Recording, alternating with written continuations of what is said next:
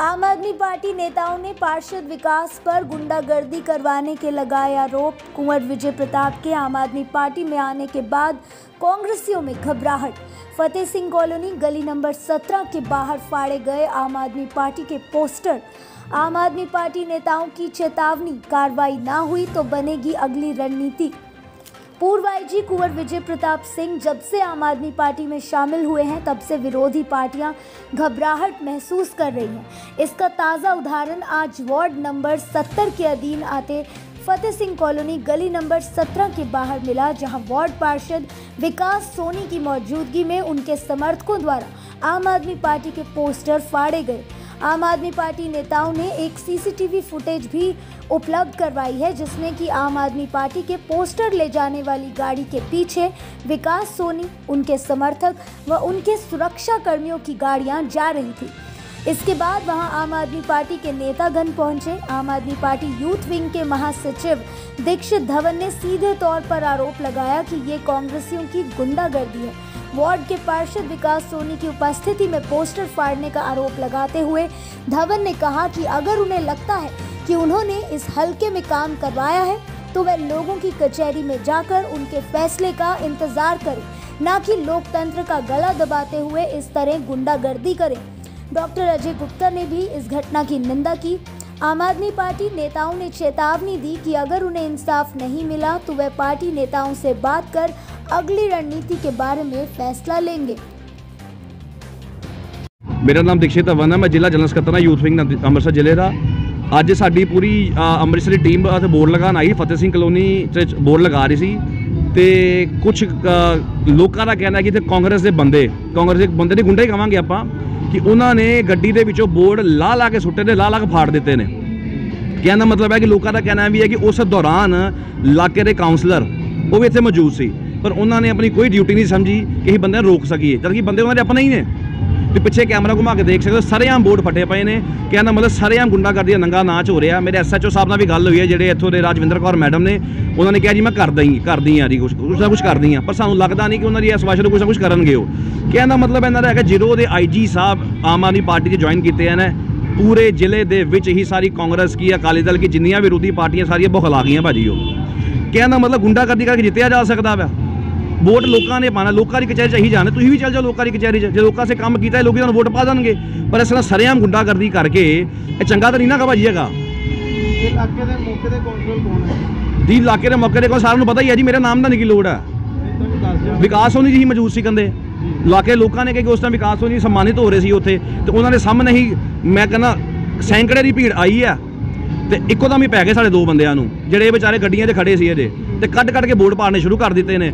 ਕੁਛ ਕੋਈ ਉਹਨਾਂ ਦੀ ਇੱਕ ਬੰਦਾ ਵੀ ਹੈਗਾ ਜਿਹੜਾ ਕਹਿੰਦਾ ਸੀ ਤੁਹਾਡੇ ਕੋਲ ਪਰਮਿਸ਼ਨ ਆਹ ਕਿਸ ਤਰ੍ਹਾਂ ਕੀ ਬੋਰਡ ਲਾਉਣ ਦੀ? ਮੈਨੂੰ ਇਹ ਸਮਝ ਨਹੀਂ ਆਉਂਦੀ ਕਿ ਉਹ ਬੰਦੇ ਪਰਮਿਸ਼ਨ ਦੇਣ ਵਾਲੇ ਹੁੰਦੇ ਕੌਣ ਨੇ?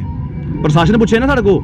ਐਵੇਂ ਥੋੜਾ ਕਿ ਆ ਕੇ ਕੋਈ ਵੀ ਟੱਟ ਪੁੰਜਾ ਜਾਂ ਕੋਈ ਵੀ ਕਰਿੰਦਾ ਸਾਨੂੰ ਆ ਕੇ ਪੁੱਛੇਗਾ ਪਰਮਿਸ਼ਨ ਦਿਓ ਸਾਨੂੰ ਪਰਮਿਸ਼ਨ ਕਿਹਨੇ ਤੁਹਾਨੂੰ ਦਿੱਤੀ ਹੈ? ਕੀ ਲੱਗਦਾ ਨਹੀਂ ਕਿ ਵੀ ਕਾਂਗਰਸ ਪਾਰਟੀ ਡਰ ਗਈ ਹੈ? ਉਹਨਾਂ ਨੂੰ ਪਤਾ ਲੱਗ ਗਿਆ ਹੁਣ ਆਮ ਜੀ, ਆਦਮੀ ਪਾਰਟੀ ਆਉਣ ਵਾਲੀ ਹੈ। ਇਹ 'ਚ ਕੋਈ ਸ਼ੱਕ ਨਹੀਂਗਾ ਬੋਰਡ ਪਾੜਨ ਦਾ ਮਤਲਬ ਹੀ ਇਹੋ ਹੀ ਹੈਗਾ ਹੱਥੀ ਪੈਣ ਦਾ ਮਤਲਬ ਹੀ ਹੀ ਹੈਗਾ ਕਿ ਲੋਕਾਂ 'ਚ ਉਹਨਾਂ ਦਾ ਵਕਾਰ ਖਤਮ ਹੋ ਚੁੱਕਾ ਵਾ।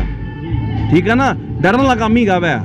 ਇਹਨੂੰ ਪਤਾ 2022 ਚ ਸਰਕਾਰ ਨਹੀਂ ਆਣੀ ਪਰ ਜਿਹੜਾ ਇਹੋ ਜਿਹਾ ਨੰਗਾ ਨਾਚ ਹੋ ਰਿਹਾ ਵੈ ਤੇ ਬਹੁਤ ਲੋਕਾਂ ਸੇ ਬਹੁਤ ਮਾੜਾ ਵੈ। ਕਹਿੰਦਾ ਲੋਕਾਂ ਦਹਿਸ਼ਤ ਕ੍ਰੀਏਟ ਕੀਤੀ ਜਾ ਰਹੀ ਹੈ। ਹੁਣ ਤੁਹਾਡੇ ਵੱਲੋਂ ਕੀ ਦੇਖੋ ਜੀ ਅਸੀਂ ਤੇ ਮੌਕੇ ਤੇ ਜਿਹੜੇ ਅਫਸਰ ਹੈਗਾ ਇਨਫੋਰਮ ਕਰ ਦਿੱਤਾ ਵਾ। ਨਹੀਂ ਤਾਂ ਆਪਾਂ ਸੀਪੀ ਸਾਹਿਬ ਜਾ ਕੇ ਮਿਲਾਂਗੇ। ਜੋ ਕੋਈ ਹੱਲ ਨਹੀਂ ਹੋਏਗਾ ਤਾਂ ਇਹ ਸਾਰੀ ਪਾਰਟੀ ਜੋ ਰਣਨੀਤੀ ਬਹਿ ਕੇ ਬਹਿ ਕੇ ਬਣਾਏਗੀ ਉਸ ਅਕੋਰਡਿੰਗ ਆਪਾਂ ਅੱਗੇ ਚੱਲਾਂਗੇ। ਪਰ ਇੱਕ ਜ਼ਰੂਰ- ਕਹਿਣਾ ਚਾਹਾਂਗਾ ਲੋਕਾਂ ਨੂੰ ਕਿ ਇਹ ਦੇਖ ਲਓ ਸਰੇਆਮ ਗੁੰਡਾਗਰਦੀ ਹੋ ਰਹੀ ਆ ਆਮ ਆਦਮੀ ਪਾਰਟੀ ਸਾਡੇ ਹੱਕ ਦੀ ਪਾਰਟੀ ਹੈ ਤੇ ਤੁਹਾਡੇ ਹੱਕ ਵਾਸਤੇ ਖੜੀ ਹੈ। ਤੇ ਉਹ ਕਰ ਕੀ ਰਹੇ ਨੇ? ਸਰੇਆਮ ਆਮ ਆਦਮੀ ਪਾਰਟੀ ਦੇ ਬੰਦਿਆਂ ਨੂੰ ਨ- ਮਾਰਨ ਦੀ ਕੋਸ਼ਿਸ਼ ਕਰ ਰਹੇ ਨੇ ਹੱਥੀ ਪੈਣ ਦੀ ਕੋਸ਼ਿਸ਼ ਕਰ ਰਹੇ ਨੇ। ਇਹਨਾਂ ਦਾ ਕੋਈ ਵੱਡਾ ਗੱਲ ਨਹੀਂ ਗੀ। ਕੱਲ ਨੂੰ ਆਉਣ ਵਾਲੇ ਸਮੇਂ ਦੇ ਵਿੱਚ ਲੋਕਾਂ ਦੇ ਝੂਠੇ ਪਰਚੇ ਵੀ ਕਰਾਉਣੇ ਪੈਣ। ਕਈਆਂ ਨੂੰ ਮਰਵਾ ਵੀ ਸਕਦੇ ਨੇ। ਕੀ ਲੱਗਦਾ ਨਹੀਂ ਕਿ ਵੀ ਹੁਣ ਤੁਸੀਂ ਕਾਰਵਾਈ ਕਰਵਾਓਗੇ ਇਸ ਤੇ ਕਾਨੂੰਨੀ? ਬਿਲਕੁਲ ਜੀ ਬਿਲਕੁਲ ਕਰਾਵਾਂਗੇ। ਜੋ ਲੀਗਲ ਤੌਰ ਤੇ ਕ- ਕਾਨੂੰਨੀ ਕਾਰਵਾਈ ਬਣੇਗੀ ਅਸੀਂ ਉਹੀ ਕਰਾਉਣ ਸੇ ਖਲੋਤੇ ਆ। ਰੱਬ ਨਾਲ ਖੁਦਾ ਨਾਲ ਖਾਸਤਾ ਹੁੰਦਾ ਕਿ ਇਹਨੂੰ ਕੋਈ ਸੱਟ ਪੈੜ ਲੱਗ ਜਾਂਦੀ। ਕੋਈ ਇਹੋ ਜਿਹਾ ਹੁੰਦਾ ਕਿ ਅਬੀ ਨਬੀ ਹੋਈ ਨਹੀਂ ਕੌਣ ਜ਼ਿੰਮੇਵਾਰ ਸੀ? ਇਹਦੇ ਪ੍ਰਸ਼ਾਸਨ ਨੂੰ ਚਾਹੀਦਾ ਨਾ ਜੇ ਇਲਾਕੇ ਦੇ ਮੌਤਵਾਰ ਬੰਦੇ ਇੱਥੇ ਜਿਹੜੇ ਐਸਐਚਓ ਜਾਂ ਚੌਂਕੀ ਇੰਚਾਰਜ ਹੈਗਾ ਉਹਨੂੰ ਖੜੇ ਦੇਖਣਾ। ਮੈਨੂੰ ਸਮਝ ਨਹੀਂ ਆ ਰਹੀ, ਮੇਰੀ ਸਮਝ ਤੋਂ ਦੇ ਬਾਹਰ ਹੈ ਕਿ ਇਹ ਕੀ ਕਰ ਰਹੇ ਨੇ ਦੇਖੋ ਜੀ, ਇਹ ਅੱਜ ਬੜੀ ਇੱਕ ਲੋਕਤੰਤਰ ਦੇ ਖਿਲਾਫ ਮੰਦਭਾਗੀ ਘਟਨਾ ਹੋਈ ਹੈ, ਜਿਹਦੇ ਵਿੱਚ ਸ਼ਰੇਆਮ ਲੋਕਤੰਤਰ ਦੀ ਹੱਤਿਆ ਕੀਤੀ ਗਈ ਹੈ, ਸ਼ਰੇਆਮ ਗੁੰਡਾਗਰਦੀ ਕੀਤੀ ਗਈ ਹੈ। ਅੱਜ ਵਾਰਡ ਨੰਬਰ 71 ਦੇ ਵਿੱਚ, ਜਿਸ ਤਰ੍ਹਾਂ ਕਿ ਤੁਸੀਂ ਸਾਰੇ ਜਾਣਦੇ ਹੋ, ਵਾਰਡ ਨੰਬਰ 70 ਦੇ ਵਿੱਚ ਜਿਸ ਤਰ੍ਹਾਂ ਕਿ ਤੁਸੀਂ ਸਾਰੇ ਜਾਣਦੇ ਹੋ ਕਿ ਸਾਡੇ ਬਹੁਤ ਹੀ ਮਾਨਯੋਗ ਇੱਕ ਇਮਾਨਦਾਰ ਪੁਲਿਸ ਆਫੀਸਰ ਕੁੰਵਰ ਵਿਜੇ ਜੀ ਨੇ ਜੁਆਇਨ ਕੀਤਾ ਹੈ ਤੇ ਉਹਨਾਂ ਦੇ ਅਸੀਂ ਮਾਨ ਸਨਮਾਨ ਲਈ ਵਾਰਡ ਨੰਬਰ 70 ਦੇ ਵਿੱਚ ਆਮ ਆਦਮੀ ਪਾਰਟੀ ਦੇ ਕਾਰਜਕਰਤਾ ਜਿਹੜੇ ਆ, ਉਹ ਬੋਰਡ ਲਗਾ ਰਹੇ ਸੀਗੇ। ਮਗਰ ਇਹ ਕਾਂਗਰਸ ਪਾਰਟੀ ਦੇ ਗੁੰਡਿਆਂ ਨੇ, ਕਰਿੰਦਿਆਂ ਨੇ ਆ ਕੇ ਇੱਥੇ ਸ਼ਰੇਆਮ ਗੁੰਡਾਗਰਦੀ ਦਾ ਨਾਚ ਦਿਖਾਇਆ ਔਰ ਮੈਂ ਕਹਿਣਾ ਚਾਹੁੰਦਾ ਕਿ ਜੇ ਇਹਨਾਂ ਨੂੰ ਹੁਣੀ ਇੰਨੀ ਜ਼ਿਆਦਾ ਬੁਖਲਾਹਟ ਇੱਥੇ ਹੋ ਗਈ ਹੈ ਅੱਲਾ ਜਦ ਕਿ 8 ਮਹੀਨੇ ਦਾ ਟਾਈਮ ਵਿੱਚ ਪਿਆ ਤੇ ਕਿੰਨੀ ਜ਼ਿਆਦਾ ਬੁਖਲਾਹਟ ਹੈ ਇਹਨਾਂ ਦੇ ਅੰਦਰ ਇਹ ਅੱਜ ਹੀ ਆਪਣੇ ਆਪ ਨੂੰ ਹਾਰੇ ਸਮਝ ਰਹੇ ਨੇ। ਕੁਝ ਪਤਾ ਲੱਗ ਸਕਿਆ ਕਾਂਗਰਸ ਦੇ ਕਿਹੜੇ ਉਹ ਵਰਕਰ ਹੈ ਜਿਨ੍ਹਾਂ ਵੱਲੋਂ ਇਹ ਕੰਮ ਕੀਤਾ ਗਿਆ? ਦੇਖੋ ਜੀ ਹੋਰ ਆਮ ਆਦਮੀ ਤੇ ਬੜਾ ਖੁਸ਼ ਹੈ।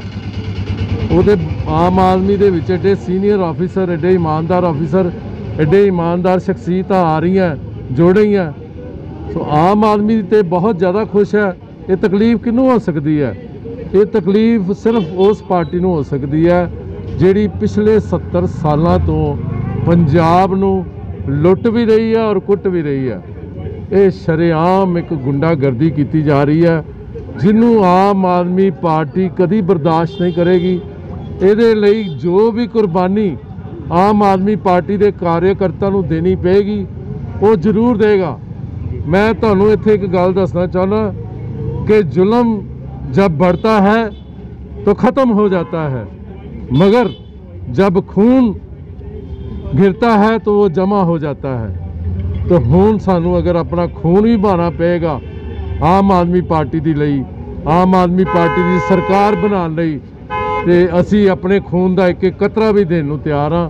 ਮਗਰ ਅਸੀਂ ਇਹ ਜਿਹੜੀ ਲੋਕਤੰਤਰ ਦੀ ਹੱਤਿਆ ਗੁੰਡਾਗਰਦੀ ਹੈ ਉਹਨੂੰ ਬਰਦਾਸ਼ਤ ਨਹੀਂ ਕਰਾਂਗੇ।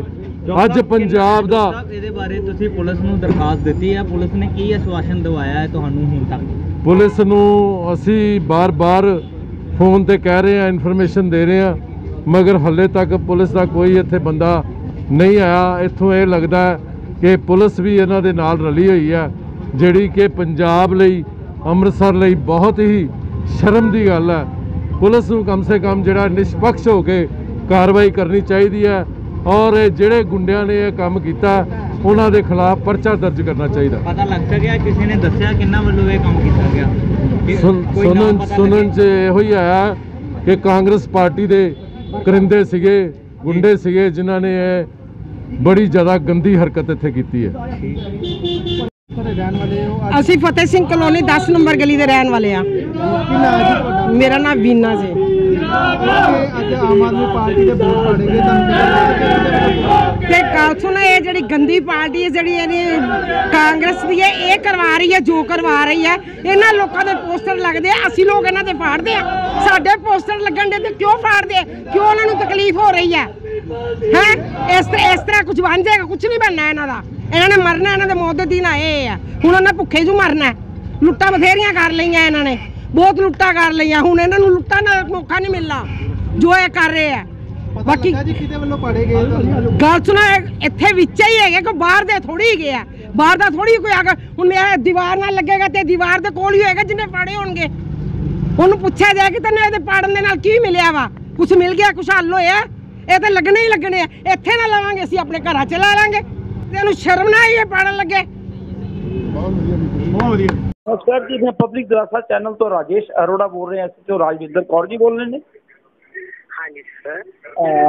ਐਸਐਚਓ ਐਸਐਚਓ ਮੈਡਮ ਤੁਹਾਨੂੰ ਇੱਕ ਫੋਨ ਆਇਆ ਹੋਏਗਾ ਉੱਥੇ ਫਤਿਹ ਸਿੰਘ ਕਲੋਨੀ ਤੋਂ ਜਿਹੜਾ ਮਾਮਲਾ ਪੋਸਟਰ ਫਾੜਨ ਦਾ ਹੋਇਆ ਸੀ ਉਸ ਮਾਮਲੇ 'ਚ ਕੀ ਕਾਰਵਾਈ ਕੀਤੀ ਜਾ ਰਹੀ ਹੈ?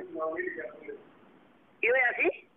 ਪੋਸਟਰ ਫਾੜਨ ਦਾ ਬਾਹਰ ਨਿਕਲ ਰਹੀ ਹਾਂ ਕਿ ਚੌਂਕੀ ਨੌਕਰ ਮੈਂ ਭੇਜਿਆ ਕੋਰਟ ਕੋਈ ਨਾ ਮੈਂ ਕਿਹਾ ਕੰਪਲੇਂਟ ਦਿਓ ਮੈਂ ਵੈਰੀਫਾਈ ਕਰਾਂਗੀ ਜੀ। ਮਤਲਬ ਤੁਹਾਡੇ ਕੋਲ ਤੁਹਾਡੇ ਕੋਲ ਸ਼ਿਕਾਇਤ ਬਾਈ ਫੋਨ ਆਇਆ ਹੈ ਕਿ ਕੰਪਲੇਂਟ ਦਿੱਤੀ ਉਹਨਾਂ ਨੇ? ਨਹੀਂ ਨਹੀਂ ਮੈਨੂੰ ਜਿਹੜਾ ਇੰਚਾਰਜ ਸੀਗਾ ਮੈਂ ਦੱਸਿਆ ਕਿ ਮੈਂ ਕੰਪਲੇਂਟ ਦਿੱਤੀ। ਮੈਂ ਕਿਹਾ ਆਪ ਮੈਂ ਕਿਹਾ ਖੁਦ ਵੈਰੀਫਾਈ ਕਰਾਂਗੇ ਮੈਂ ਕਿਹਾ ਕੰਪਲੇਂਟ ਦੇ ਵੈਰੀਫਾਈ ਕਰ ਲਵਾਂਗੇ। ਕੋਈ ਜੀ ਧੰਨਵਾਦ।